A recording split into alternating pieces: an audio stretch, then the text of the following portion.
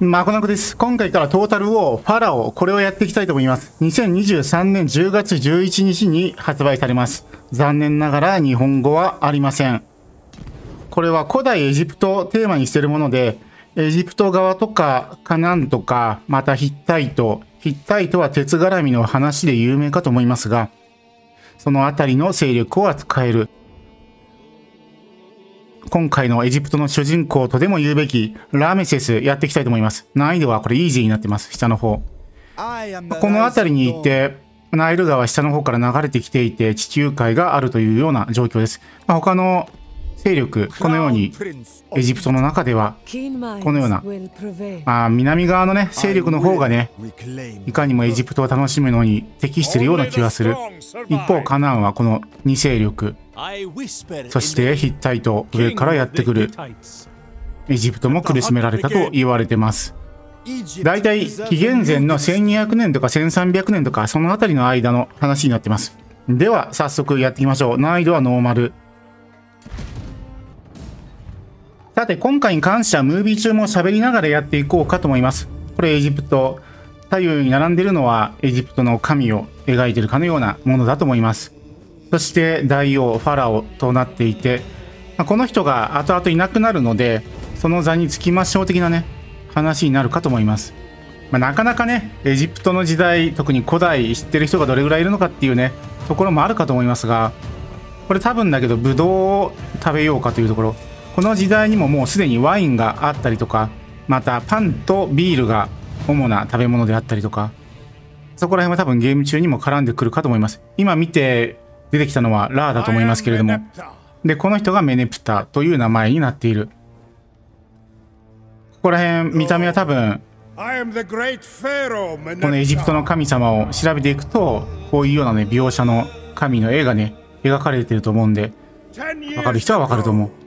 で、この人初期、こうした初期的な役割の人は結構昔は活躍していた、いろいろと記録を取るのがね、重要だったりとか。なので、こういう役職につけると、いっぱい売れないっていうね。なので今一生懸命何か書いてますけど。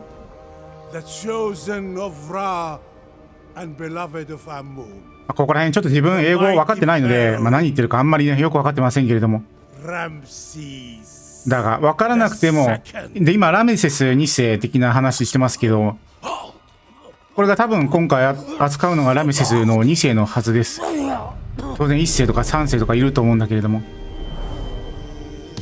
今回は2世。一番多分エジプトが活躍したようなそういう時代だと思います。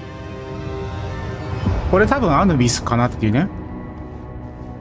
他のゲームでも名前出てきたり、ね、しますけどね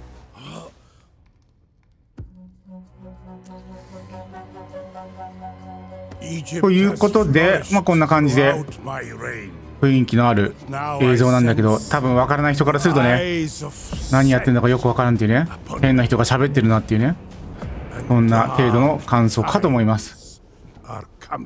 さてということで。うんで今回左側今見えたのがラメセス。これ海の民というのが多分やってくるというようなね話になっていて、まあ、その辺りのヒッタイトとかが攻めてきて苦労したりとか海の民というものが来て苦労したりとかそういうような時代になってます。でこれナイル川だと思います。銅の座が開いたので入りましょうみたいなね。誰がそこ入るのか。さまざまな王冠の何か仕組みみたいなものがあって何をかぶるかによって効果が変わるみたいな要素もあったりするんで。途中までは遊んである程度ねゲーム内容把握済みなんでここら辺説明しながらやっていけたらと。into the eternal lands of the afterlife. 今説明があって、そしてこの画面が出てきました。このファクションの概要みたいな感じで、こうしたものを建てられるとか、いろいろユニットがこういうのがいるとか、またそういうようないろんなね、法廷絡みとかあるので、ここら辺アウトポストというのも今回はかなり重要になるかと思います。こんな感じで、まあ、ちょこちょこ見つつ、また天候の変化もあるので、それによって良くなったり悪くなったりというのもあります。まあ、ここら辺は細かく見なくていいでしょう。他にも概要記録とかいろいろありますさていつも通りこのすぐそばにいるのを倒すんですがもうこれはもうオートで全部終わらせましょう。普通に戦ってもいいんですが自動結果これによってあっさりと倒すことができる、まあ、ある程度ねがっつりと戦うような場面になってから戦闘やっていこうかなと。今の倒しって次は今戦い状態になってるのはこっち側だと思うので次のターン行きましょうか。そしてうん下の方これブロンズが必要になるので。まあだから当然強いので。うんまず2部隊しか雇えない。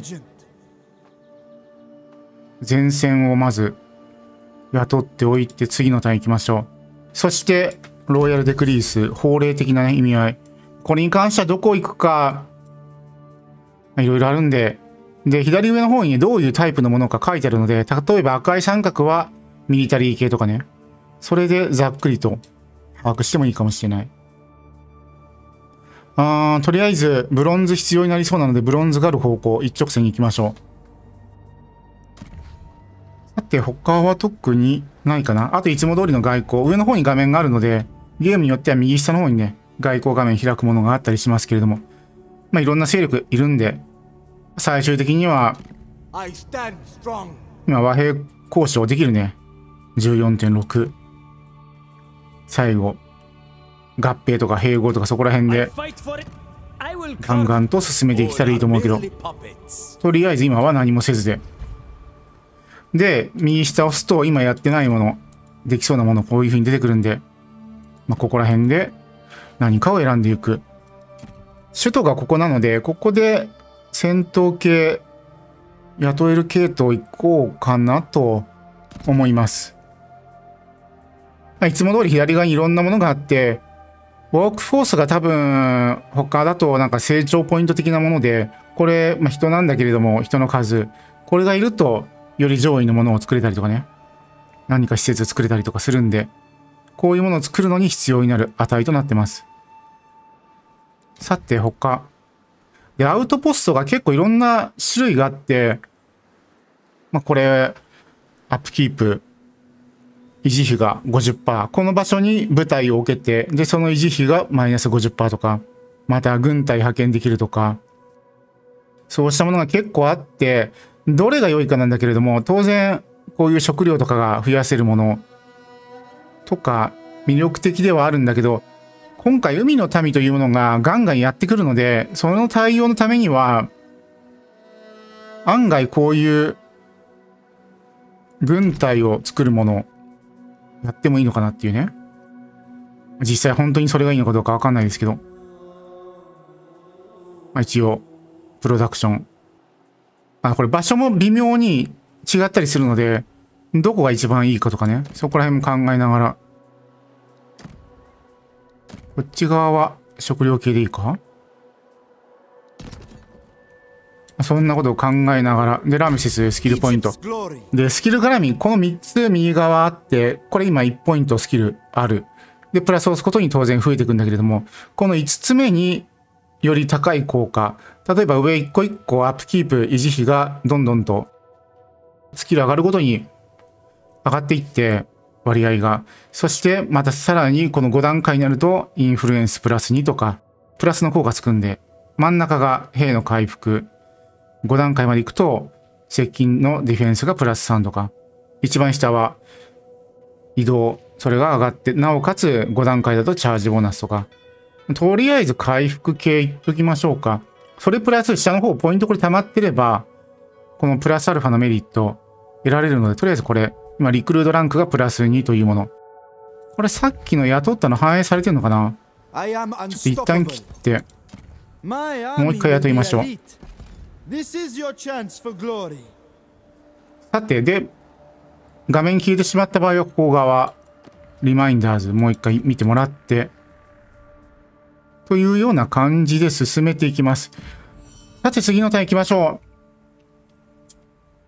最初72の勢力。まあいろいろ案内出るんで、だがあんまり細かく見てるとキリがないので、見ずにみましょうか。さて、この場所。で、ここ、左側、この拠点の名前の左側、これ食料のマーク。ここ、ブロンズのマーク。で、ブロンズはできるだけ多く欲しいので、兵を雇う際にブロンズが必要になることがあるので、なので、この場所で何か良いものを作れないか。となると、この、これ5段階目まで上げないと作れない？ちょっとなんか大変そうだね。本当にそこまでいけるのかどうか。そこまで行かずで良いかな？となると何作るか？今、ハピネスマイナスになってるので、ハピネス上げる施設作るか。それが一番無難なような気がする。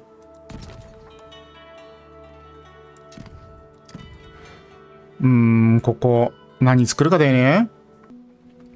では、ここは防衛も兼ねて、これ作っておきましょうか。部隊が供給されるというもの。さて、あともう一個作れるけど、石材とか考えるとあまり作るべきではないのかもしれない。あとこれでいいでしょう。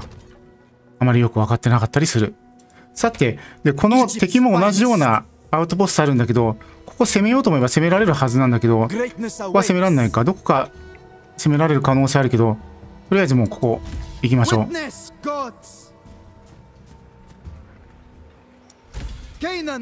そして、ここも自動で。序盤に関してはもう自動でいいのかなっていう気がする。がっつりね、戦うような場面になったらまた。で、占領するかとか、略奪するかとか、破壊するかとか、そういうような内容が出てきて。さて、今一つ取って、まあ、今現在このような感じ、ラミセスこの辺り。ここを滅ぼしに行くかどうかだよね。うん、ここを取ることによって、一つの州全部取ったことになるので、上じゃあ行きましょうか。ここ一旦。舞台また雇っておいて。弓も雇いたいけど、まず接近系。で、今雇ったことによって多分マイナスにブロンズになると思うので、あと今食料がマイナスになっている。石は建物を作る際に必要になるので、あんまり使いすぎるとね、後々困ったりする。けど、何も建てないわけにはいかない。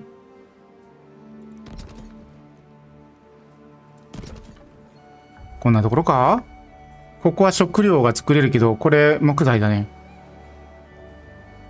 で、ここが、まあ、3段階目まで上がった際に食料絡み作れるんだけど、幸せとか影響力、ハピネスとインフルエンス、それが下がるので、まあ、これが本当にいいのかどうかがね、なかなか悩ましかったりする。また、ここ幸せの値かなり下がってるんで、ハピネスまた、上げるもの作って、あともう一個、軍隊置いときたいから、まあ、こっち側かこっち側。どちらか狙いましょう。さて、またこの場所選んで、またスキルが上がった。まず真ん中5段階まで上げて、その後は速さ。上はあまり上げなくても、でも軍隊の維持費も結構重要だからね。早めに維持費を下げたいような気がする。ということで、地味にこの辺りは進めていく必要性があります。さて、アウトポスト。うん。こっち側を。この上の方でも選べるんで同じような感じで。こっち側も部隊を増やす。もう一個は供給量を増やす。これでいいでしょう。あともう一個は何かを建てられるが、今は良しとします。ウォークフォースがね、足らない可能性があるんで何か作る際に。少し待つこともね、必要かなと。で、今一人生まれたね。敵の勢力。さて、まずここ滅ぼしましょう。ここも、このゲージ、圧倒的に勝ってるんで、自動で終わらせる。ということで、序盤、まあ、このような感じで敵倒していって、拠点を取っていく。ここまでがチュートリアルなのかなっていう気がする。まあ、一応ここまでやって、チュートリアル別途あって、そっちだとかなり後半までより細かいね、内容も説明しながら話が進むので、チュートリアルやりながらの方が良いかもしれない。さて、ブロンズ、足らなくなってきたんだけど、ここでどうするかでね、食料も当然足りてないので、当面はブロンズ使わないものをどんどんと上げていきましょう。それプラス食料絡みも上げていく。これブロンズの数が25上がる。これは魚。魚だと季節に関係なく取れるらしいんだけれども、他のもの、農場とかに関してはナイル川の氾濫があったりとかなかったりとか、そういうことによって取れたり取れなかったり食料するので、まあ魚が無難なのかなっていうね。そんな気がする。当然、海沿いとか川沿いとか、そこら辺でないと作れない。さて、これ、週一つ丸々取ったことによって何かしらプラスアルファの効果。今、ハピネスが大幅に減ってるので、ハピネス上がるもの。これ、ハピネスは上がるが、雇う時のコストがプラス5%上がってしまう。さて、さらにスキルポイント。どうするか。うん。で、次ここはめたもの、それをもう一個つけるには、ランクが8にならないとダメとなってる。さらに先16、27。この下のパネル。で、当然この下の方にも数字と何かマークがあって、3とかね、8とか書いてあるけど、そのマークが8までいったらこれをくっつけることが可能とか、そうした要素あります。さて、次のターンになって、ここからどうするかを考えないとダメ。外交関係、自らが黄色。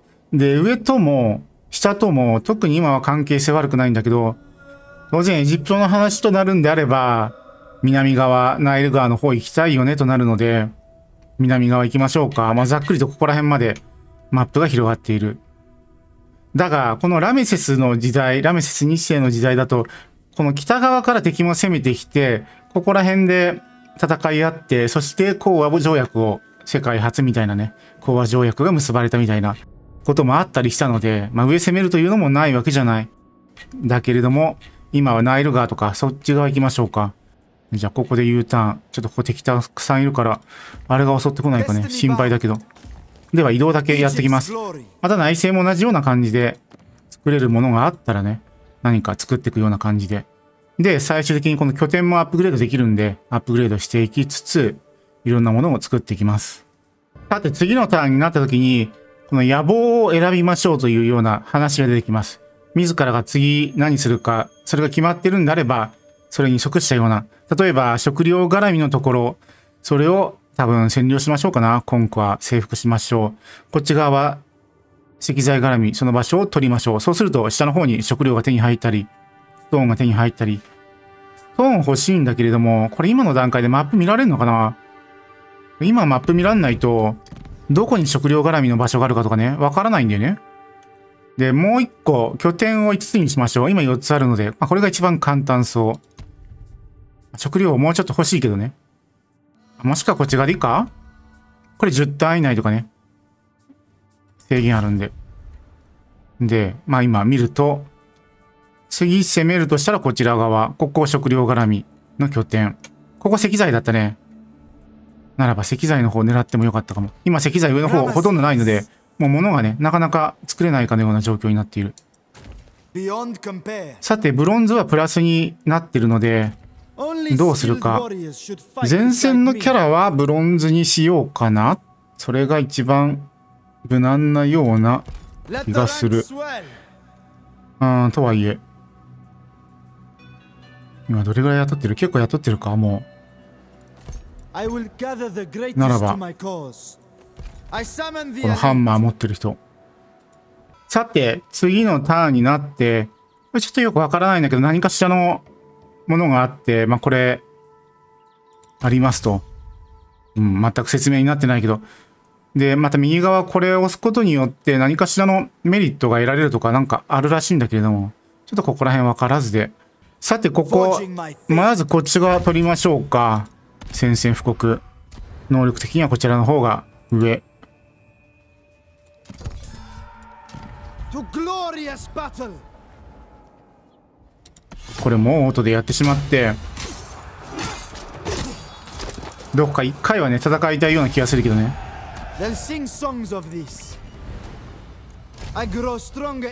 そして何か新しい神が来たみたいなこと書いてあるんだけどこれが何なのかもちょっとよく分かってないんでねどこに絡んできてるのかが。で今野望達成ということで食料が手に入ってるこんな感じで食料も増やしながらなのでマイナスがあってもガンガンと攻めていってもね.良いかもしれない。さてこれどうするか。適当に雇っとい.て。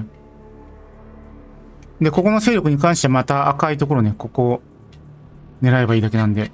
でパッと見るとどうなんだろう。周りちょっと青くなってるからもしかしたらなんか味方扱いになってるのかなこれ細かくわかんないけどまあまあまあ何かしらプラス効果はありそうではないせやってきます今戦ってるところがどこかに併合されたみたいになっていてそれによって、ここと戦い続けるんであれば、この併合先のこのマスターとも戦いを続けることになる。これどこかわからないけど、今、五分五分なんで、戦いにしましょうか。どこなんだろうね。少なくともすごく座に接するようなね、場所ではなさそうだけど。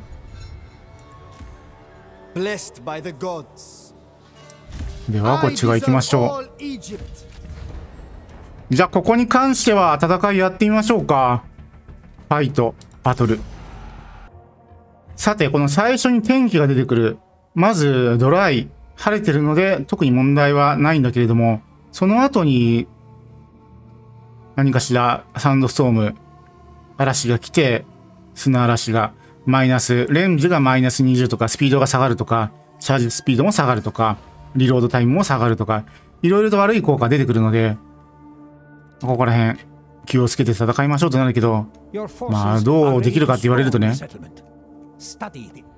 何もできない。で、こっち側から敵援軍やってくるので、これさ、こっち側、これこっち側で迎え撃っちゃえばいいんじゃないの？届く？届いてないな。もっと寄ってもいいか？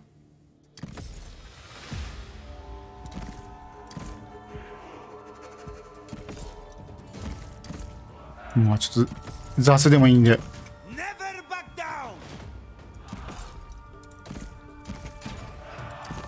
こんな感じでいきましょうか。かわいそうに。最初から蜂の巣状態に。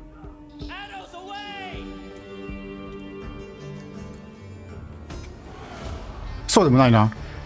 蜂の巣言うほど蜂の巣にはなってない。でこれ何？一部隊だけ？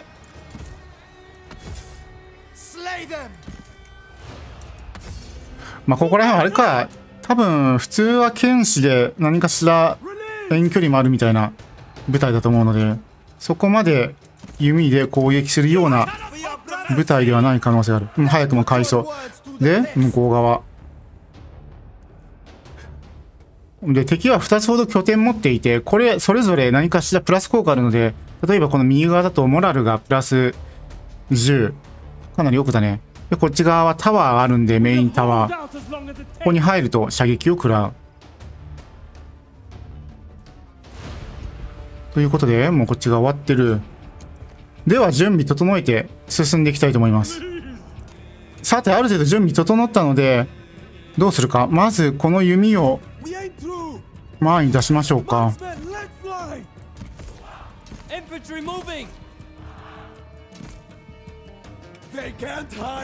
う.ん。別の方からもいつでも突っ込めるように。でラメセスがこれチャリオット戦車乗ってるんでこれ突っ込ませれば案外敵もあっさりといるんじゃないかと思ってる.これどこまで寄ればいいのか盾持ってる部隊前出しましょうか。多少弓で追いかけられても問題ないでしょう.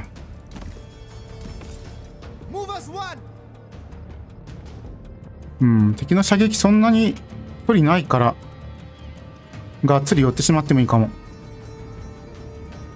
でラメセスが弓持ってるのでそれで今射撃できてるかのような状況。よくないねよくないねよくないね。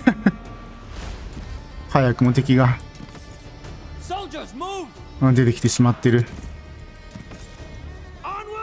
別方向動いてないか？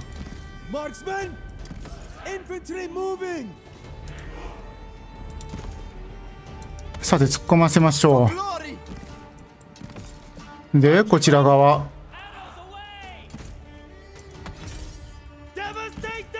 これも突っ込ませましょうか。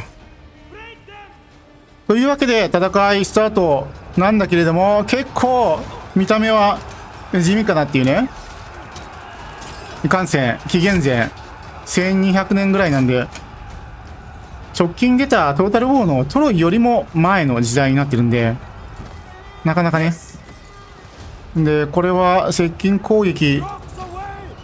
になってるのかな!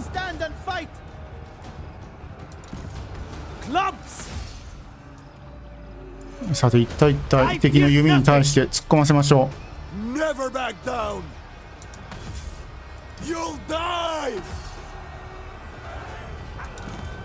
At my う、うん、command! ラメセスが動けてない向こう側はなんとかなりそうか？Swordsman! もしくはこれでこっち側まで行ってもらう一方こっち側!多分一部隊もうこの旗が壊れてるんで倒しきってるでしょ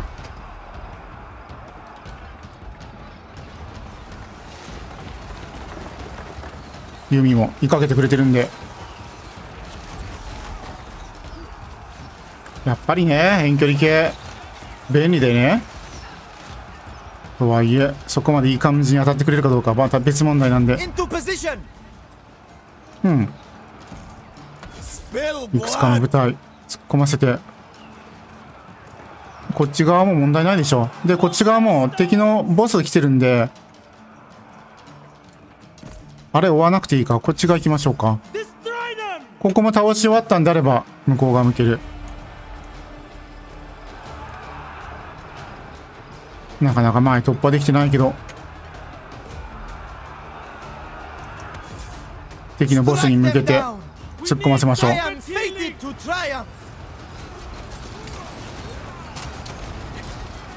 どんなもんだ？まあある程度削れてるような気がする!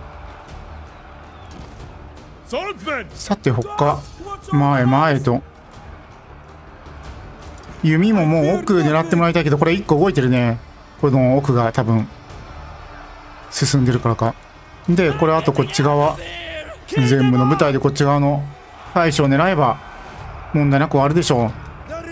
ラーメン説なんだかんだで結構耐久削られてる。よくない。ここら辺も壊滅状態。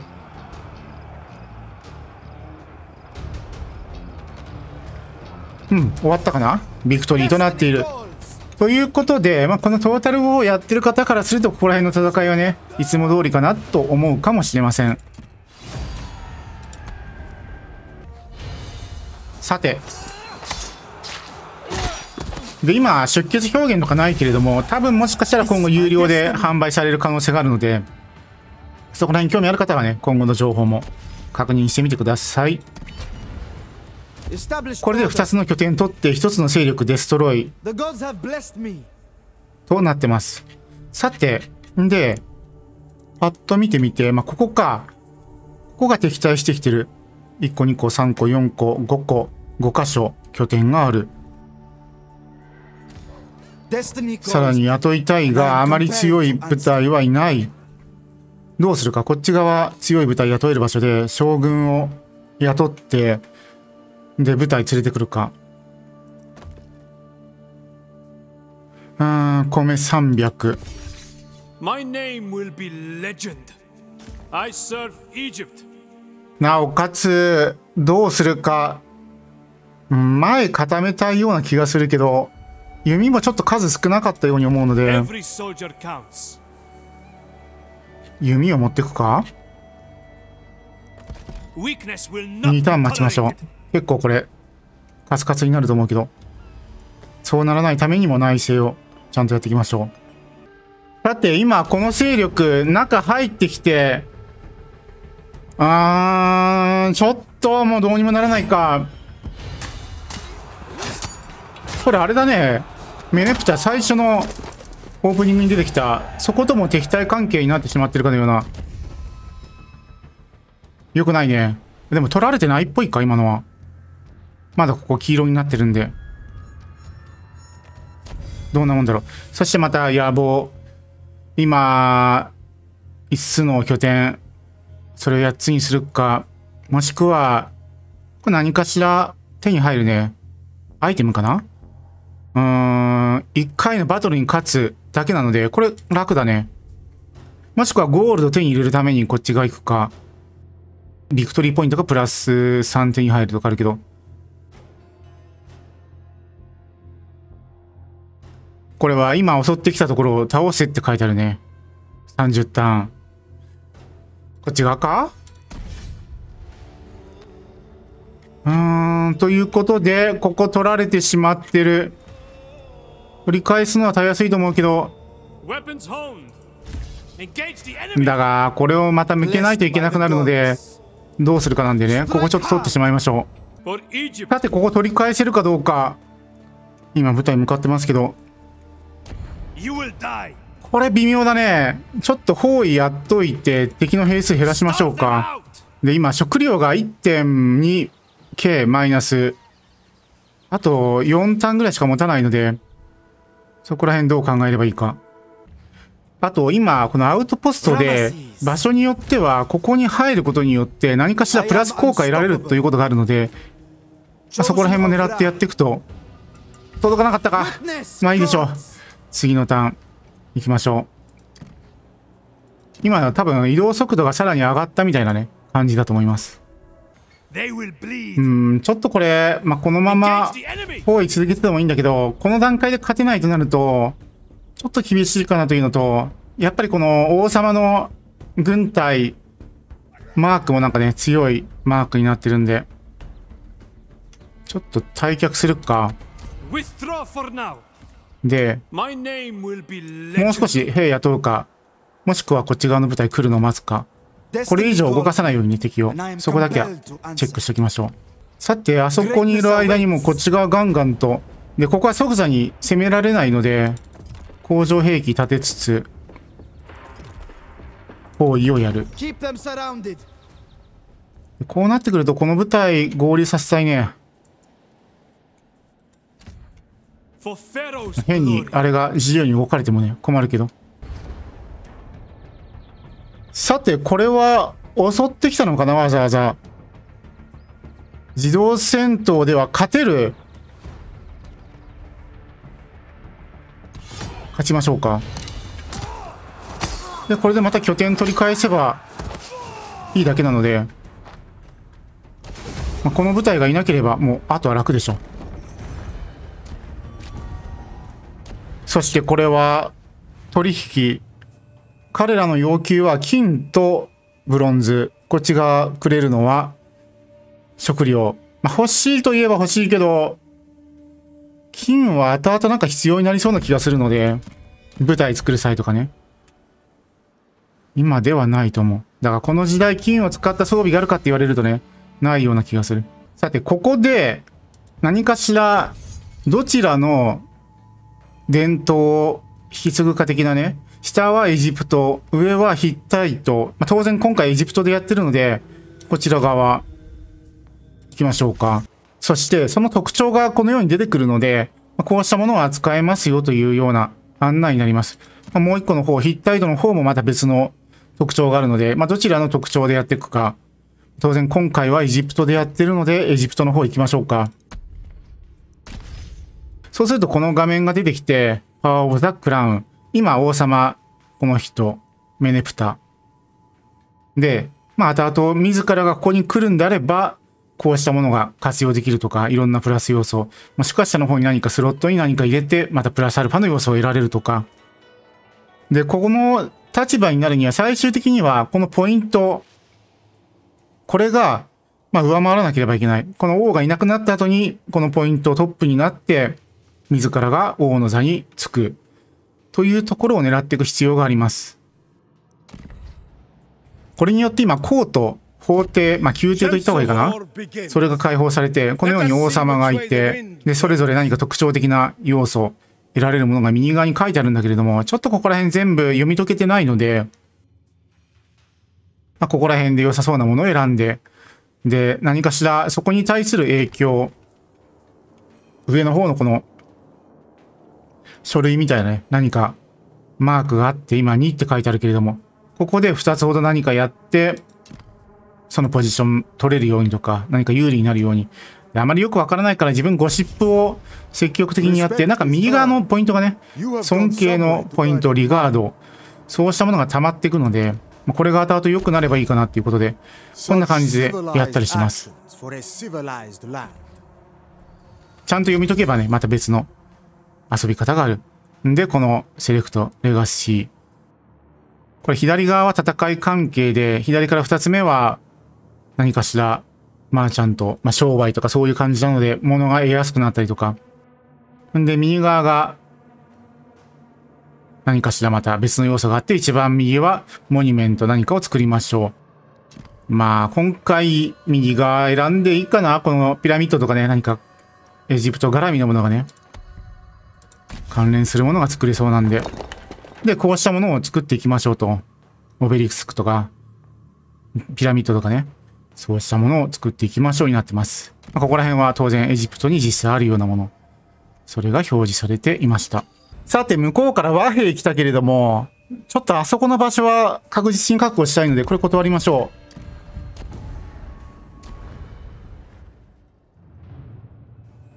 で、もう一個別の勢力から和平来たけれども、これに関しては、うーん、どこら辺だろう？ここら辺に多分あると思うけど、食料今厳しいんで、もらっときましょうか。では、ここ取り返しはできない。うん、軍隊が入ってしまってるから、ちゃんと兵数増やさないと。だがもう1.7マイナスなので食料が。厳しいね。ここも、まだまだ勝てるような状況になってないんで、一応勝てることは勝てるけど、がっつり軍隊減っちゃうんでね。まあ、あえて軍隊減らすっていう手もここであって、それによって、食料絡み、一服まで持っていけるかもしれない。まあ、次これ破壊できると思うんで、壁。それ様子見てから、また考えましょう。なるとこれ、どうしよう。ここからここまではもう、解散でいいか？食料多少改善。これこっち側持ってってもまとめて行動するように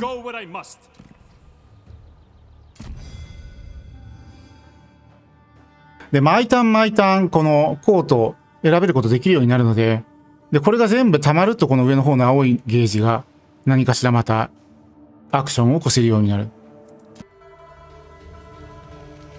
そしてある程度ターン進むとイベント。これ何かしらどこかの勢力との戦いが表示されてると思うけど。これがどことどこなのかよく分かってない。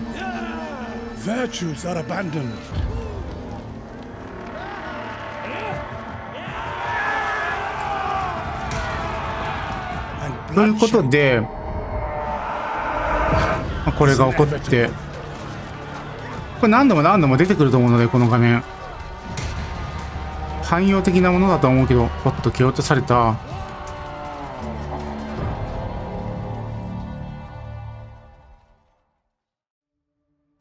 うんどこの話かわからなかったけど。多分何かしらこれかなヒッタイトのシビル王が始まったさてここもういけるかな？うん多少好転したのでオートリゾルブ。ある程度倒されるけど、もう食料問題もあるんで、よしとしましょ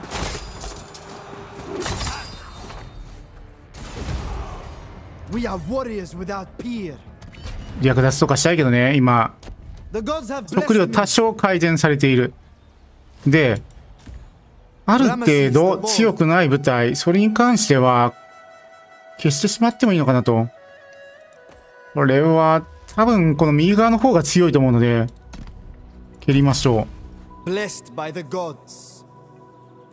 干も。Destined for greatness. これぐらい今15でこっち側にいる部隊5なので、まあ、合流させればちょうど良くなるのかなっていうね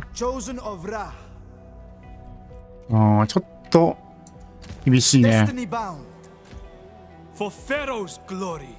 でこの一番右側のポイントマイナスになってるのでこれなんだろうな。バトルで勝ったのがマイナス要素になってるみたいな書き方になっている。さてここ今開くとこのような画面出てきてうーんねフェイバーの値使うことによって違うなここに誰か入れられるんだで入れることによって例えばラメセスを入れる.何かしらプラスの効果得てると思うので、